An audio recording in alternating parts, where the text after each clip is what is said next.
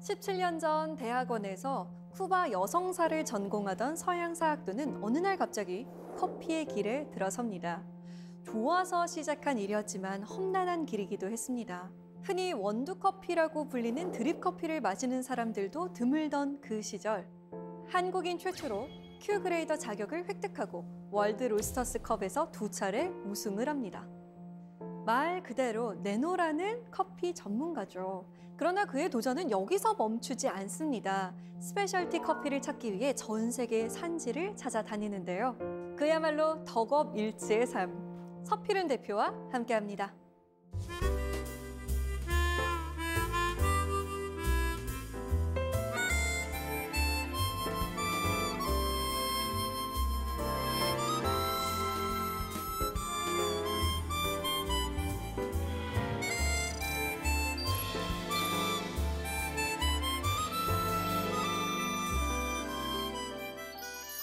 반갑습니다, 대표님. 10여 년 전 전통시장 안에 있던 작은 카페가 지금은 대표적인 스페셜티 커피 브랜드가 되었어요. 1년 중 3분의 1은 산지를 다니신다고 들었거든요. 네네. 근데 코로나19 때문에 발이 묶여서 요즘 어떻게 지내고 계세요? 답답하게 지내고 있습니다. 원래 어, 산지에 가서 농장들도 많이 방문하고 생산자들도 만나서 또 새로 들여올 커피도 뭐 살펴보고 이야기해야 되는데 코로나 때문에 지난 5월에 가테말라에서 나온 이후에 한 번도 못 갔어요. 근데 그럼에도 불구하고 오랫동안 거래 관계 유지하면서 쌓아놓은 관계에 있어서 커피를 구매하는 데는 큰 어려움은 없을 것 같습니다. 음, 하루를 커피 한 잔으로 시작하는 분들 참 많죠. 오늘 다 반가운 마음으로 대표님 이야기 기다리고 있을 것 같은데요. 오늘 강연 잘 부탁드립니다.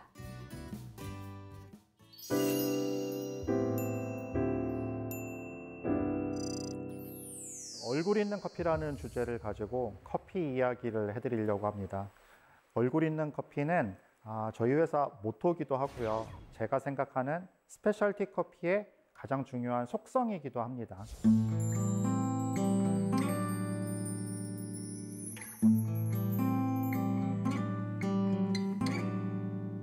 저는 기존의 한국 시장에는 소개되지 않았던 specialty 커피라는 새로운 장르를 하고 싶었어요. 그러니까 specialty 커피라는 거는 어, 당시에 미국, 일본, 스칸디나비아를 중심으로 이제 막 아, 새로 유행하기 시작한 어떤 커피에 접근하는 새로운 방법 내지는 조류라고 할 수 있는데요. 아, specialty 커피 협회라고 있어요. 미국하고 유럽이 주축이 되어서 만든 기구인데 그 협회에서 커피 품질을 평가하는 기준을 만들었어요. 그리고 그 기준 100점 만점인데요. 그 기준에서 80점 이상 받은 커피를 specialty 커피라고 불러요. 근데 이거는 이제 수치적으로 specialty 커피를 설명하는 정의고요. 아, 또 다른 정의들도 많이 있어요. 그 중에 가장 우리가 많이 쓰는 게 아, 커피 산지의 어떤 terroir와 자연환경 같은 거겠죠. 이런 것들을 잘 좋은 품질로 로스팅, 추출을 거쳐서 한 잔의 커피에 이르기까지 이 좋은 품질이 잘 표현된 커피를 specialty 커피라고 불러요. 근데 최근에는 이런 specialty 커피에 대한 정의에 약간 반발하는 어, 뭔가 새로운 정의가 필요해라는 어, 주장들도 나오고 있어요. 소비지까지 좋은 커피, 좋은 품질로 도착한 커피 이거는 소비지 사람들의 생각만 반영한 거 아닌가? 왜 그 품질이라는 정의 안에 맛있는 커피라는 정의 안에 생산지에서 커피를 생산하는 커피 농부들 그리고 그 농부들이 커피를 재배하는 자연 환경에 대한 기준은 목소리는 들어가 있지 않은 거야 이런 주장들이었어요. 그래서 최근에 더 힘을 얻고 있는 specialty 커피에 대한 정의는 높은 품질의 커피에다가 산지의 생산자들과 생태계, 자연 환경의 지속 가능성까지를 모두 끌어안을 수 있는 그런 정의가 specialty 커피의 정의로서 적합하다 이런 이야기들을 하게 됩니다. 제가 하고 싶었던 specialty 커피는 이제 이런 거였어요. 근데 뭐 당시에는 한국의 specialty 커피라는 게 잘 알려져 있지도 않았고 또 일반 시중에서 파는 커피보다 더 어, 저희가 판매하는 커피가 비싸기도 했고 아, 로스팅 기술이나 추출 기술이 어, 뭐 그렇게 소비자들을 단번에 사로잡을 만큼 아, 좋지 않았던 것 같아요. 그래서 매출도 잘 안 나오고 매장 하나를 오픈하고 싶었는데 돈이 없어서 계속 미뤄졌어요. 그리고 3년 후에 회사를 만들고 3년 후에 아주 작은 뭐 7평짜리 매장을 아주 뭐 이렇게 거의 문을 닫다시피 한 전통시장 한 구석에 이제 오픈하게 되기도 하고 그랬는데요. 뭐 장사가 조금 안 되겠지라고 생각은 했지만 이렇게까지 안 되고 이렇게 오래 안 될 줄은 몰랐어요. 그러다 보니까 뭔가 내가 갖고 있었던 신념, 내가 스페셜티 커피를 이런 방식으로 하고 싶었어 라는 신뢰, 믿음, 어떤 기대 이런 것들이 근본적으로 많이 흔들리기 시작했어요. 그러다 보니까 그게 제일 힘들었던 것 같아요. 뭐 어, 직원 월급을 못 줘서 뭐 카드 빚을 내서 주었던 거, 뭐 어, 여기저기에서 납품 상담을 했는데 거절 당했던 거, 뭐 이런 여러 가지 구체적인 일들보다도 제가 갖고 있었던 하고 싶었던 일에 대한 신념이 흔들리니까 그런 것들이 되게 심적으로 큰 스트레스이기도 하고 어, 이걸 할 수 있을까 막 이런 고민들 했던 것 같아요. 근데 아, 지금 와서 생각해 보니까 그 시기가 굉장히 아, 힘들었지만 저한테는 지금까지 커피를 계속 할 수 있게 만들었던 큰 힘을 아, 만들어줬던 어떤 기초를 다지게 해줬던 시간들이었던 것 같아요. 무언가를 좋아한다라는 거는 그냥 당장 좋은 것만 좋은 거? 이런 게 아니라 아, 내가 좋아하기 위해서 더 노력하는 것 그리고 그로 인해서 생겨나는 여러 가지 결과물들 좋은 것도 있고 안 좋은 것도 있고 실망스러운 것도 있고 뭐 굉장히 잘 돼서 뭐 환호성을 질러야 하는 것들도 있겠지만 그 모든 것들을 다 끌어안는 게 정말 좋아한다라고 표현할 만한 그런 게 아닌가. 그래서 좋아하는 데는 노력과 관심과 열정과 책임 이런 모든 것들이 필요한 거구나라는 생각을 어, 하게 됐던 것 같고 그런 마음이 지금까지 계속 커피를 하는데 굉장히 큰 힘이 됐던 것 같습니다.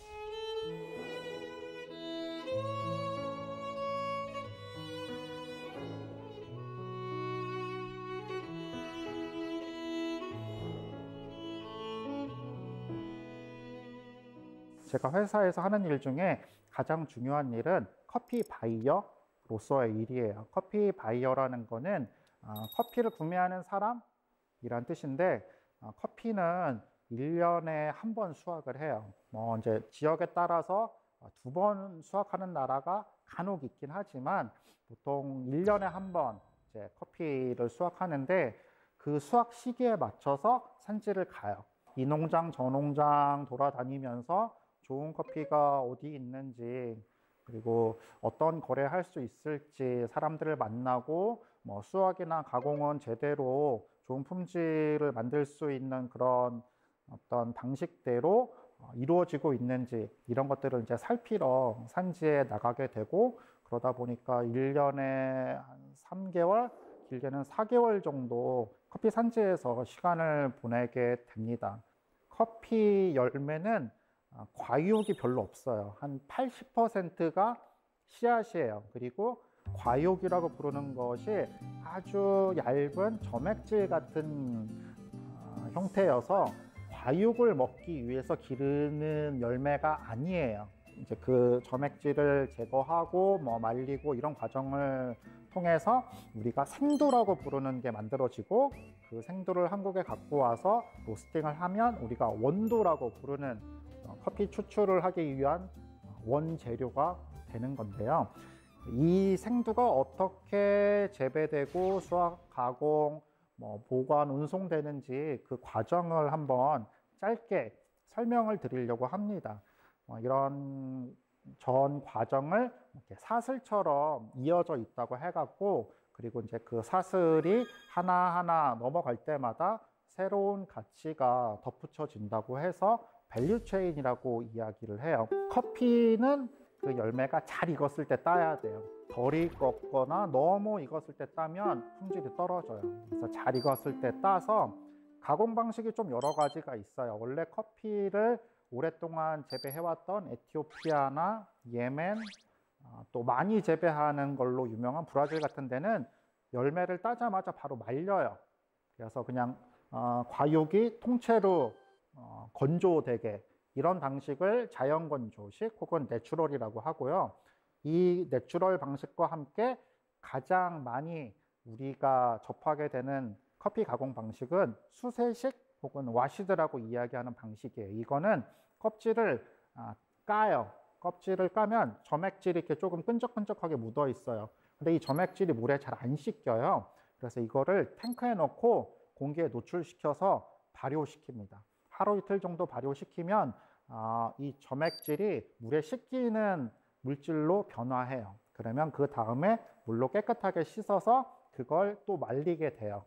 그러니까 이 양쪽 과정 모두 어, 어, 건조가 필요한 거고요. 이 건조를 잘 하는 게 커피 품질에 굉장히 중요해요. 그냥 너무 고온에서 빨리 말리면 어, 물은 수분은 잘 날아가고 빨리 마르지만 커피 품질은 안 좋게 됩니다.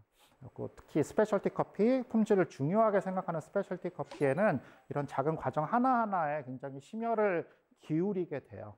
그리고 이런 건조 과정이 끝나면 큰 기계들이 있는 방앗간 같은 데 가요. 보통 이제 전문 용어로는 드라이밀이라고 하는데 여러 가지 이렇게 기계들이 있어요. 그래갖고 껍질을 벗기고 그 다음에 아, 조밀도에 따라서 분류를 하고 그 다음에 또 아, 크기별로 분류를 하고 그 다음에 아, 레스팅이라고 해서 약간 안정화되는 시간이 필요해요. 그 시점에는 맛이 제대로 안 들었어요. 맛이 없어요. 그래서 약간 레스팅하는 안정화 기간을 거친 다음에 그 다음에 계약을 해요. 그러니까 저 같은 바이어들하고 어 이거 샘플 받아보고 맛있네 이거 살 거야 뭐 얼마 살 거야 그러면 그 계약서를 기준으로 해서 어 선적 하게 됩니다. 선적하면 어 중남미는 보통 40일, 아프리카는 한 달, 뭐 이 정도 걸려요. 한국에 오기까지 커피 생두는 어 씨앗이기도 하고 일종의 곡물이에요. 그러다 보니까 1년 정도는 보관을 잘 하면 맛있게 먹을 수 있는데 1년이 지나면 묵은 쌀처럼 맛이 없어져요. 그래서 어, 전문 용어로는 past crop이라고 하는데 이제 묵은 쌀로 맛있는 밥을 짓기가 힘든 것처럼 패스트 크롭으로 커피를 아, 로스팅하고 추출하면 나무 맛이 많이 나요. 이제 커피가 갖고 있어야 할 어떤 향기나 뭐 어떤 그윽한 좋은 단맛이 아니라 나무 심는 것 같은 나무 맛이 많이 나게 돼요. 그래서 이런 수확서부터 가공 과정, 운송 이런 모든 과정 하나하나가 커피 품질에 굉장히 중요한 역할을 하게 되고 이 하나하나에 심혈을 기울여서 아, 품질 관리를 한 커피, 스페셜티 커피가 될 수 있는 겁니다.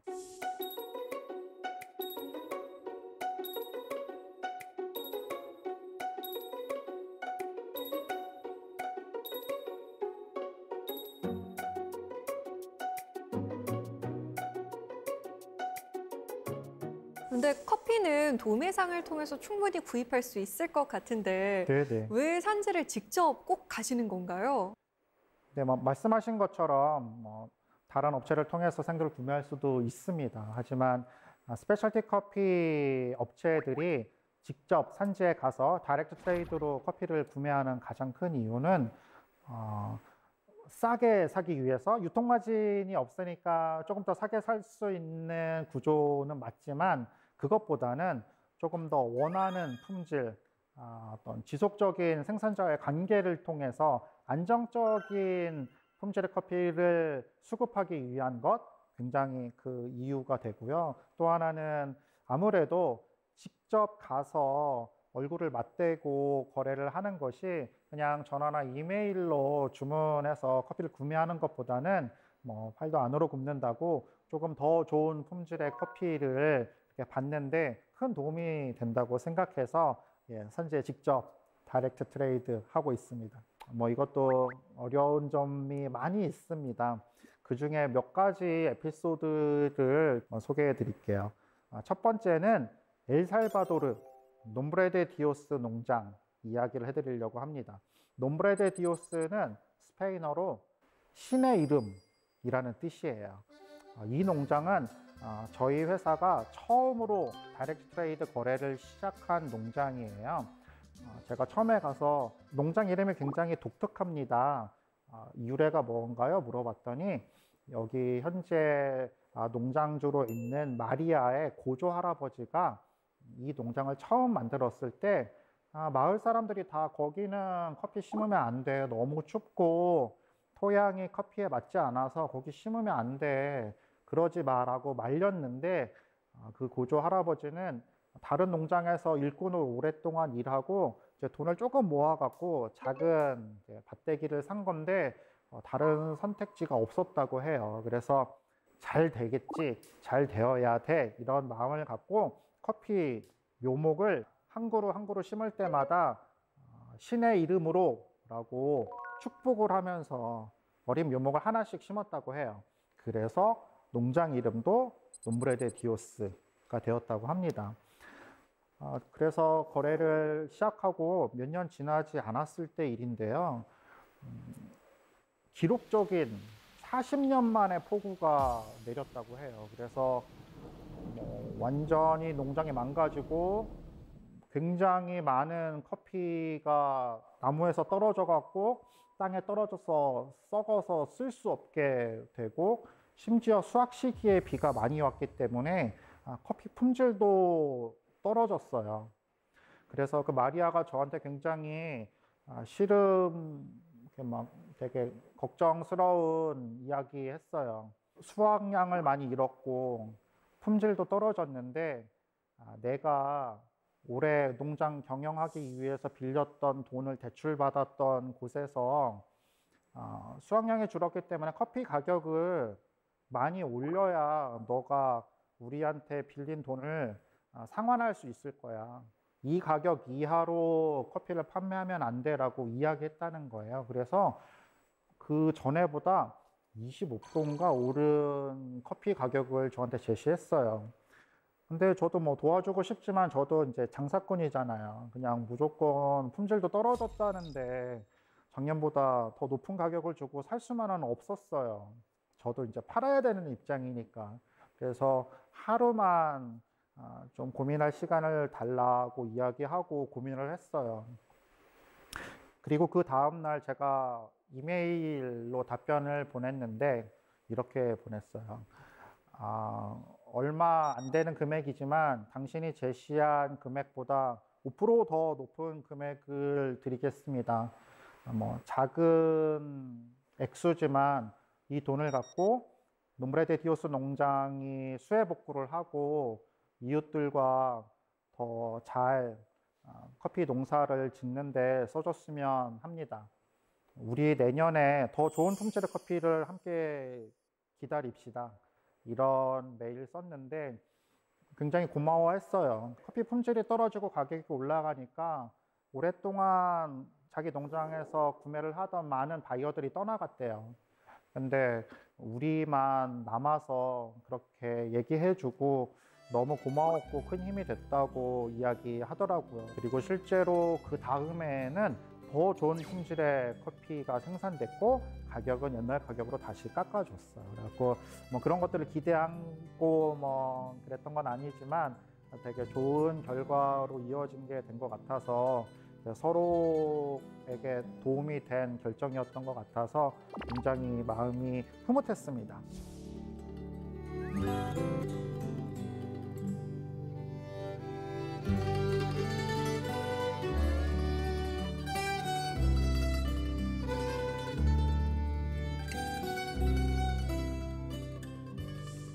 온두라스 얘기입니다. 온두라스 차기테 마을. 어, 여기 보면 세상 끝까지 내몰린 사람들의 마지막 터전이라는 부제가 붙어 있는데요. 이것도 4년 아, 전인가요? 제가 원래 오래 거래하던 농장에 찾아갔어요. 그 농장도 재배 고도가 꽤 높아요. 1700m 정도? 원래 커피는 아, 재배 고도가 좀 높은 곳일수록 커피가 맛있을, 맛있을 가능성이 되게 많아요. 그러다 보니까 좀 더 높은 곳에 있는 농장들을 선호하게 되는데 이미 1700m면 굉장히 높은 고도예요. 그래갖고 저는 그 농장 커피도 너무 맛있게 잘 쓰고 있었는데 이렇게 만나서 그 농장주와 이야기하고 있는데 얘기하다 보니까 저쪽 건너편 되게 높은 산에 커피 나무 같은 것들이 있는 거예요. 제가 저거 커피밭 아니야 그랬더니 제 온두라스 파트너 이름이 론인데 론이는 온두라스 커피 생산자 협회에서 20년 정도 필드에서 일했던 완전 전문가예요. 근데 그 친구가 아, 저기는 너무 높아서 추워서 커피 나무 잘할 수 없어. 내가 20년 있었는데 뭐 저러기에 농장이 있다는 얘기 들어본 적 없어. 이렇게 딱 잘라서 아니라고 이야기했어요. 근데 그 농장주가 아, 자기는 얘기 들었다는 거예요. 저기 굉장히 가난한 사람들이 사는 곳인데 어, 커피 껍질 벗기는 도구가 없어가지고 그냥 열매를 따갖고 헐값에 그냥 음, 그 중간 상인한테 판다고 이야기를 들었던 것 같다고. 그래서 제가 깜짝 놀라서 저기 몇 미터인데 그랬더니 2,000미터래요. 그래갖고 어, 저하고 로디가 깜짝 놀랬죠. 아, 정말 2,000미터면 온두라스에서 가장 높은 커피 농장이라고. 저는 그래서 호기심에 빨리 가보자. 그래서 올라갔어요. 막 차 타고 또 막 한 시간 이상을 가서 올라가서 봤더니 정말 거기에 커피 농장들이 있었어요. 아니 저기 저렇게 경사진 곳에서 커피를 어떻게 딸까 싶을 정도로 막 가파른 곳에 커피 나무를 다 심어놨어. 그래서 너무 놀랬죠. 사람들을 만나봤는데 아, 아홉 가구가 커피 껍질 까는 펄퍼라고 하는 그 기계가 없어서 그냥 열매로 파는 거예요. 근데 그냥 열매로 팔면 정말 정말 너무 싼 가격에 팔아야 돼요. 그 펄퍼 가격이 우리나라 돈으로 10만 원 정도밖에 하지 않아요. 근데 아홉 가구가 그걸 못 사갖고 몇 년째 그러고 있다는 거예요. 근데 제가 봤더니 재배 고도가 너무 높고 가능성이 있어 보이는 거예요. 그래서 어, 그러면 샘플 좀 달라고 해서 먹어봤는데 어, 아홉 개 중에 세 개가 정말 너무 맛있었어요. 그리고 이거는 당장 좋은 가격을 주고 사도 너무 한국에서 잘 팔릴 만한 좋은 품질의 커피였어요. 그래서 첫 해에 아, 세 가구의 커피를 구매했고요. 저희가 그 로니 제 파트너하고 온두라스 커피 생산자 협회하고 같이 중장기 프로젝트를 시작하자고 했어요. 그래서 펄퍼도 사주고 어, 간단하게 커피를 가공할 수 있는 설비들을 저희가 마련해 줬어요. 그리고 여기서 어, 농학자가 파견돼서 이 농민들한테 어떻게 커피를 좀 잘 기르고 가공하면 좋은지에 대해서 훈련시키고 조언 주는 프로그램을 저희가 만들었어요. 그래서 정기적으로 방문해서 이렇게 농민들하고 같이 협업을 하고 86점 이상 나오면 모든 커피를 저희 회사에서 책임지고 전량 구매를 하겠다라는 약속을 했어요. 그리고 그 다음에 다시 방문했더니 정말 1년 사이에 너무나 많은 것들이 바뀌어 있었어요. 정말 커피 나무의 때깔이 바뀔 정도였어요. 굉장히 막 윤기 나고 이파리들이 탱탱하고 커피 열매도 커지고 그 해에 그래서 제가 그 마을에서 나는 커피를 전부 다 구매했어요. 그리고 너무너무 맛있어서 완판. 한국에서 아주 빠른 시간 동안 다 팔렸어요. 그리고 재작년에 제가 방문했을 때 어, 사람들이 어, 마을 잔치에 벌려줬어요. 그래서 뭐 같이 뭐 음식도 해 먹고 좋은 시간을 보내다가 왔는데 나중에 듣고 보니 이전에 팔던 가격의 4배 높은 가격으로 제가 커피를 구매했다고 해요. 근데 저는 그 가격이 전혀 비싸다고 느끼지 못할 만큼 좋은 품질의 커피였어요. 그냥 커피 기르는 사람들은 그냥 농부잖아요. 그러니까 자기 자식이라고 생각해요. 농작물을 매일 가서 보고 만지고 쓰다듬고 했던 작물들이잖아요. 그래서 이 사람들은 자기 작물을 너무 사랑해요. 그래서 이 사람들이 이제 어디 팔까, 어- 얼마에 팔까 고민하지 않고 이 커피 나무가 더 잘 자라고 좋은 품질의 커피를 만드는 데만 온 집중을 하게 된 거예요. 그러니까 커피 품질이 매년 더 좋아지고 있어요. 그래서 저는 어, 굉장히 감사하게 생각하고 있고 아, 이런 것들이 어, 뭐 앞에 농라데 디오스 농장처럼 생산자와 소비자를 이어주는 일 그리고 같이 상생하는 일이 아닐까라는 생각을 하게 됐어요.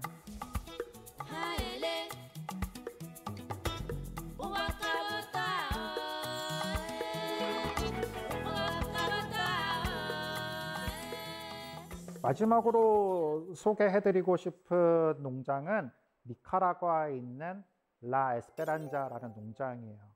라 에스페란자는 스페인어로 희망이라는 뜻이에요. 여기 농장주는 마리오 빌체예요. 어, 이 친구 나이 들어 보이지만 저보다 여섯 살이나 어려요.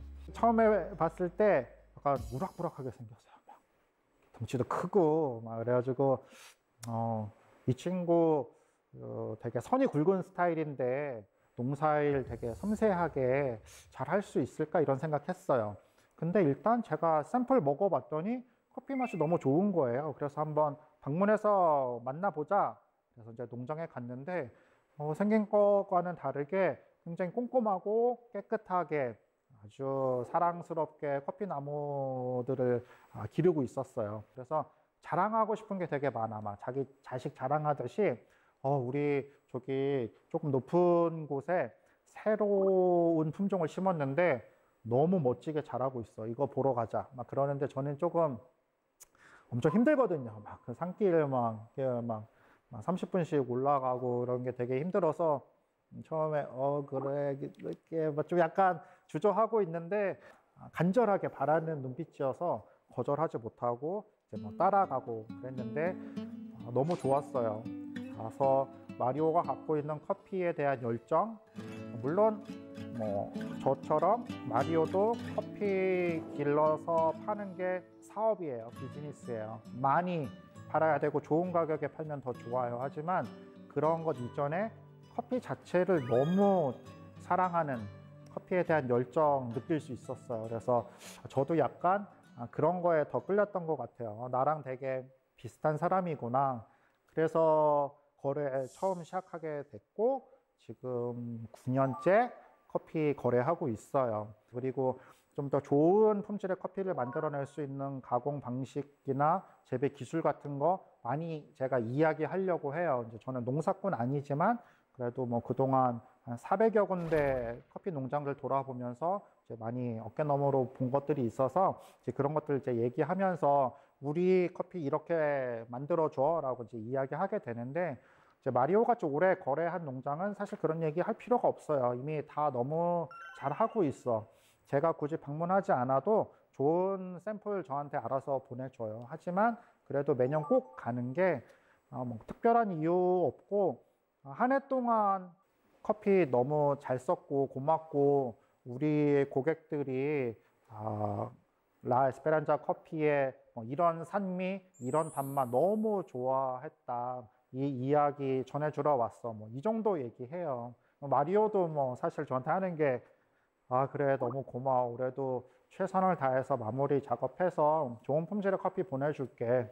근데 뭐 이렇게 고맙다는 이야기하고 안부 전하고 오는 게 전부지만 아, 그냥 사람 사는 게 비슷한 것 같아요.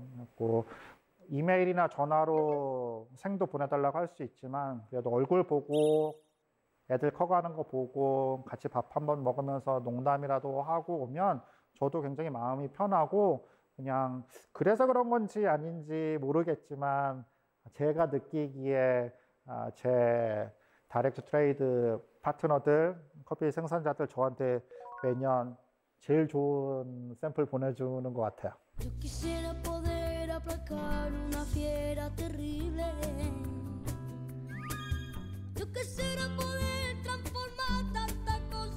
Imposible. Yo quisiera decir tantas cosas que pudiera hacerme sentir. 그러니까 산지에 이렇게 오랜 시간 나가면서 많은 농장들을 방문하다 보니까 어, 커피가 갖고 있는 미래가 좀 불투명하다, 불안하다라는 생각했어요. 두 가지 이유가 있는데요. 어, 첫째는 기후 위기, 또 한 가지는 불공정한 거래 구조예요. 커피 거래는 어, 크게 두 가지 두 군데 시장에서 이루어져요. 하나는 뉴욕의 커피 거래소, 하나 이제 로브스타 품종은 런던에서 거래되고요. 어, 방금 말씀드린 뉴욕에서는 아라비카만 거래가 되는데 원래는 뭐 공급과 수요에 의해서 가격이 결정되는 거긴 하지만 아, 실제로는 아, 약간 그것과는 다른 이유들 로 가격이 결정되는 경우가 많이 있고 원래는 이제 자본주의 시장에서 가격이라는 것은 기본적으로 어, 생산 원가에 뭐 판매자의 뭐 마진 이익을 붙여서 이제 시장에 가격을 내놓으면 이제 뭐 소비자들이 원하면 팔리는 거고 뭐 그렇지 않으면 안 팔리는 거고 가격 할인해야 팔리는 거고 이제 뭐 이런 어, 구조를 거쳐서 거래가 되는데 커피는 희한하게도 커피 가격 결정 과정에 생산자가 개입하지 못해요. 그러니까 생산자가 커피를 생산하는데 들어가는 어떤 원가들이 있을 거 아니에요. 뭐 인건비, 비료, 뭐 농약, 뭐 여러 가지 비용들에다가 이익 그런 게 없어요. 그냥 가격이 뉴욕 커피 거래소에서 결정되면 밑으로 내려와서 그 가격에 팔려요. 그런데 이 커피 가격이라는 것이 지난 40년 동안 조금도 오르지 않았어요. 실질적으로 인플레이션을 감안하면 오히려 40년 전보다 커피 가격은 떨어졌어요. 왜? 약간 이상하잖아요. 왜 시장에서 그렇게 거래가 되는 거지? 이제 거기에는 어, 역사적인 어떤 배경이 있어요. 원래 커피는 에티오피아에서 길러졌죠. 그리고 그게 이제 예멘으로 넘어가서 예멘을 통해서 어, 뭐 15세기, 16세기 거치면서 이제 전 세계에 전파가 되고 판매가 됐는데 이게 굉장히 큰 돈이 된다는 걸 어, 유럽 국가들이 알아서 자기 식민지에다가 커피를 막 심어요. 그래서 막 아프리카, 아시아, 뭐 중남미에 이렇게 다 커피를 심게 된 거예요. 그래서 그걸 가지고 이제 유럽으로 가져와서 이제 판매하면서 이제 굉장히 큰 수익을 얻었는데 2차 세계대전 이후에 이제 많은 식민지 국가들이 어, 정치적으로 독립을 하게 됐죠. 하지만 정치적으로 독립했지만 어, 먹고 살 수 있는 게 없어요. 근데 어, 서양 사람들이 버리고 간 커피 밭이 남아 있었던 거죠. 그래 이거라도 한번 길러볼까 그랬더니 음, 이미 식민지 시대에 만들어놨던 커피 거래 시스템을 통해서만 거래를 할 수 있게 된 거예요. 그러니까 그런 어, 우여곡절을 통해서 지금까지도 커피 거래는 그런 방식으로 예, 커피 가격이 결정되고 판매되고 있어요. 그러다 보니까 아니 그 나라라고 해서 40년 동안 경제가 성장 안 한 건 아니잖아요. 그러니까는 뭐 약간의 과장을 더하면 커피 가격 빼고 나머지 다 올랐어요. 그 나라도 인건비도 오르고 비료값도 오르고 뭐 다 올랐어요. 하지만 커피 가격 그대로다 보니까 어, 커피를 기른다라는 건 정말 어, 마지 못해서 죽지 못해서 하는 일, 농사를 져봤자 계속 손해만 나고 어, 농사 져봤자 미래가 전혀 보이지 않는 그래서 젊은 사람들 다 떠나고 그렇게 빚만 늘어나다가 결국 대출금을 받지 못해서 커피 농장을 뺏기고 이런 일들이 계속 반복되는 거예요. 그러면서 어, 커피 농민들의 수가 줄어들고 커피 어, 수확량이 줄어들고 그리고 어, 전 세계 커피 시장 입장에서 보면 그런 소농들이 조금 이렇게 줄어드는 거는 전체 커피 생산량에서는 그렇게 중요하다고 생각하지 않는 것 같아요. 왜냐하면 가장 많이 커피를 생산하는 브라질, 베트남, 콜롬비아 정도만 잘 나오면 나머지는 뭐 왜냐하면 이 세 국가가 전체 커피 생산량의 뭐 거의 60% 이상을 차지하고 있거든요. 그러다 보니까 이제 이런 것들을 그냥 뭐 방치하고 있는 상황인데 장기적으로 이런 것들이 커피 생태계를 굉장히 피폐하게 만들 수밖에 없어요. 그러니까 소비자 입장에서 봤을 때 어, 다양하게 즐길 수 있는 커피들이 점점 줄어들고 이제 뭐 다국적 기업이라든가 큰 회사들이 어, 수직 계열화에 성공한 방식으로 제공하는 커피들 그것도 아주 일부 국가에서 생산된 커피들밖에 즐길 수 없게 될 가능성이 되게 많고요.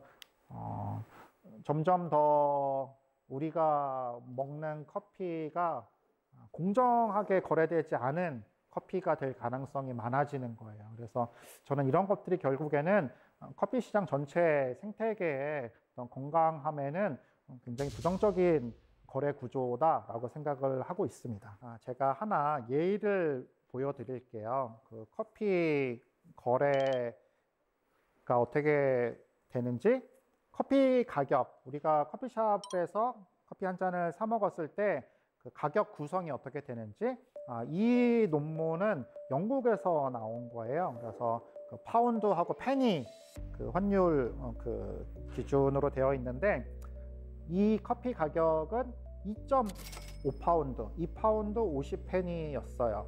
그 중에 임대료가 88페니, 뭐 인건비 62페니 있는데 자 보시면 생산자 1페니예요. 2.5파운드 내고 커피 한 잔 사면 1페니가 생산자에게 돌아가는 거예요. 생산자는 1년 내내 일한 거잖아요. 수확 한번 하려고.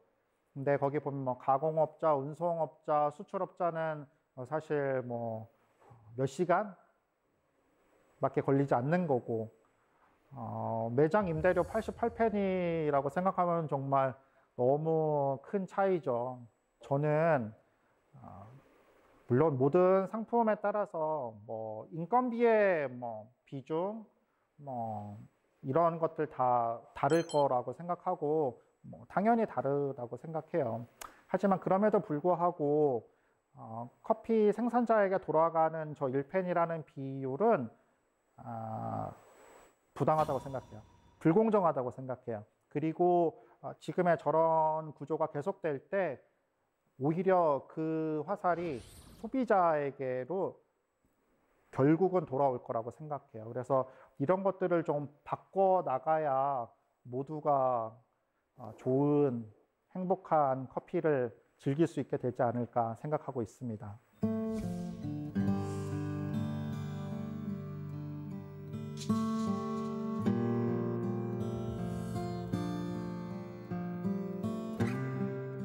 두 번째는 기후 위기입니다. 그래서 부제를 다음 세대는 과연 커피를 마실 수 있을까 이렇게 적어 봤는데요. 뭐 이상기후라는 이야기 많이 하잖아요. 뭐 여름이 너무 더워 올 여름 정말 너무 비가 많이 와 후덥지근해 그러면 도시에 사는 사람들은 그냥 에어컨 더 키면 되잖아요. 하지만 음, 이런 기후 변화가 어, 농부들한테는 굉장히 큰 어떤 위험 요소, 뭐 1년 동안 힘들여서 농사 지은 것들을 그냥 단 며칠 만에 다 버리게 될 수도 있는 이런 굉장히 큰 위기 요소가 되기도 합니다.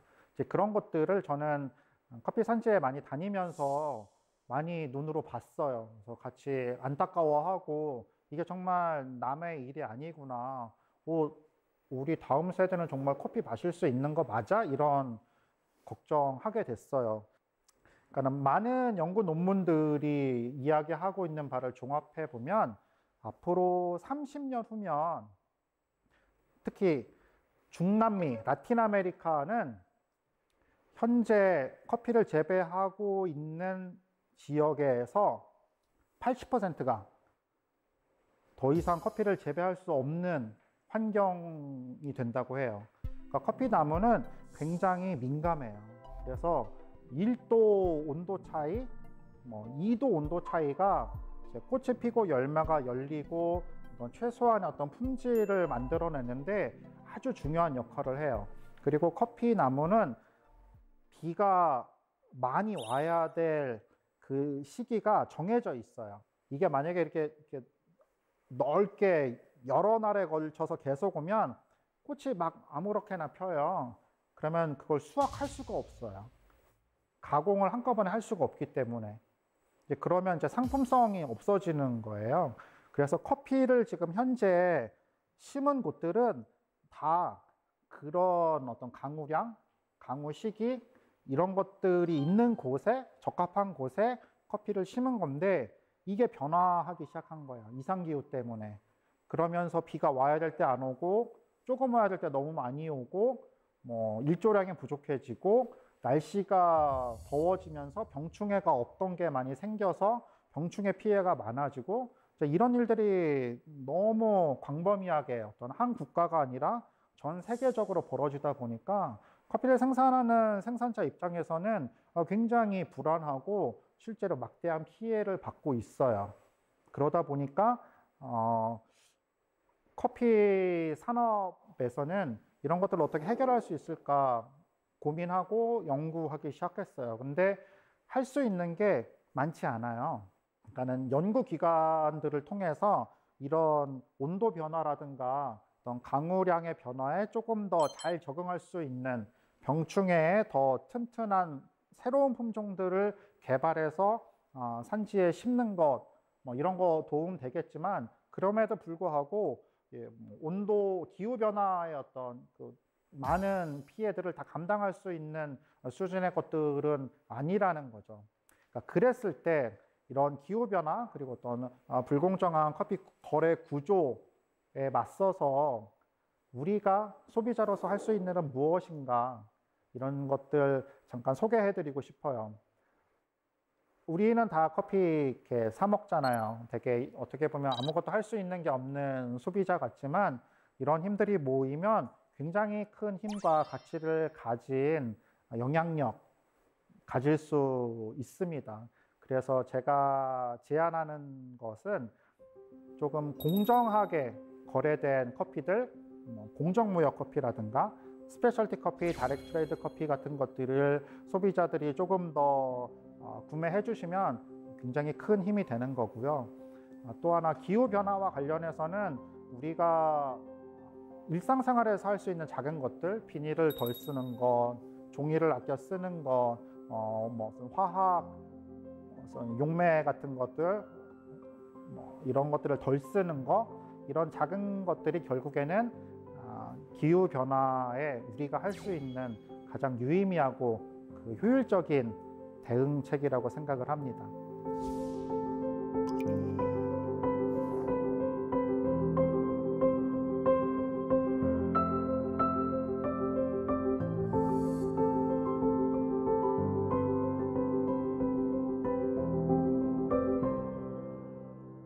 얼굴 있는 커피에 대해서 오늘 말씀을 드렸습니다. 제가 생각하는 얼굴 있는 커피는 뭐 specialty 커피의 특성을 잘 보여주는 표현이야 뭐 이런 것도 있지만 아, 한 잔의 커피가 나에게 오기까지 굉장히 많은 사람들의 노력과 정성, 어, 연구 이런 것들이 다 들어가 있다라는 것 알리고 싶었어요.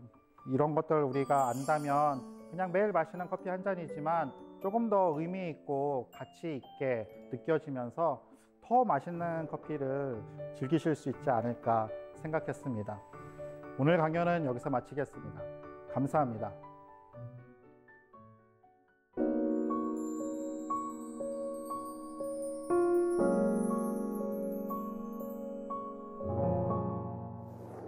강연 잘 들었습니다. 얼굴 있는 커피가 과연 무엇일까 궁금했었는데 이 커피 한 잔에 이렇게 많은 삶과 얼굴들이 있었는지 몰랐네요.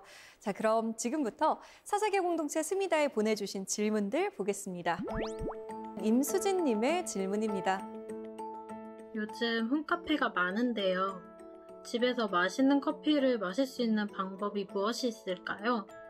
요즘 코로나 때문인지 홈카페가 정말 유행이더라고요. 네. 어떤 방법이 있을까요?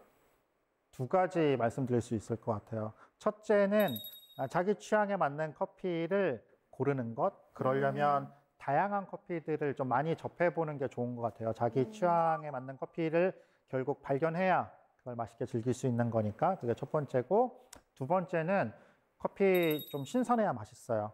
커피 생두는 아, 곡물 같아서 네. 1년 정도는 보관 잘하면 맛있게 먹을 수 있지만 이제 커피를 로스팅하면 열에 한번 닿은 아, 일종의 조리 과정을 거친 거기 때문에 아, 신선도가 떨어지면 맛이 같이 함께 떨어집니다. 어. 그래서 이왕이면 신선한 커피를 구매해서 어, 보관 잘해서 신선할 때 드시는 게 커피가 갖고 있는 어떤 향미를 어, 충분하게 즐기실 수 있는 방법입니다. 그래서 저는 팁으로 하나 더 추천드리자면 네. 어, 원도 갈면 향기가 금방 달아나요. 오. 그래서 조금 비용 들지만 네. 집에서 맛있게 드시려면 어, 그라인더 하나 구매해서 커피 드실 때마다 갈아서 드시면 조금 더 신선하고 맛있게 커피 즐기실 수 있을 것 같습니다. 네, 이번엔 지은경님의 질문입니다. 핸드드립으로 커피를 내릴 때와 기계로 내릴 때 맛이 어떻게 다른지 알려주세요. 어, 어, 어려운 질문입니다. 아, 왜냐하면 핸드드립을 어떻게 했는지 사람마다 다를 수 있고 음. 커피 내리는 기계도 종류나 방식이 굉장히 다양하기 때문에 그냥 이렇게 달라요라고 이야기하기는 힘든 것 같아요. 음.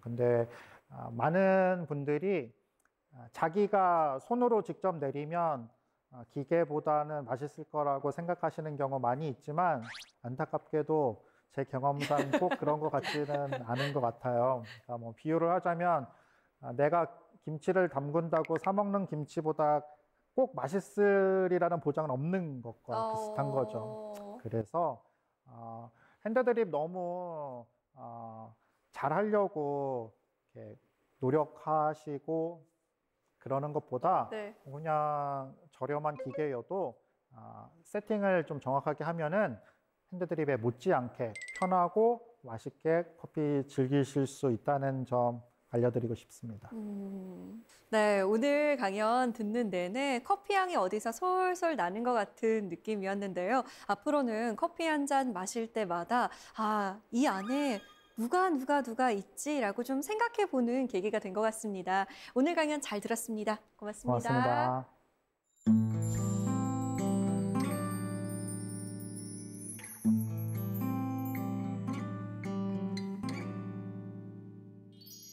불행한 완벽주의자보다 행복한 대충주의자가 되자. 제가 한 말은 아니고요. 시인 괴테가 한 말입니다. 덧붙여서 이렇게도 말합니다. 신만이 완벽할 뿐 인간은 완벽을 쫓을 뿐이라고요. 완벽하고 쉽죠. 실수도 되풀이 안 했으면 좋겠고요. 그런데 나만을 위한 일이라면 작은 실수에도 꺾이기 마련입니다. 하지만 혼자만을 위한 것이 아니라 세상을 위한 일이라면 좀 달라집니다. 책임감은 물론 강한 성취 동기도 생기고요. 더불어서 행복한 마음도 따라온다고 합니다.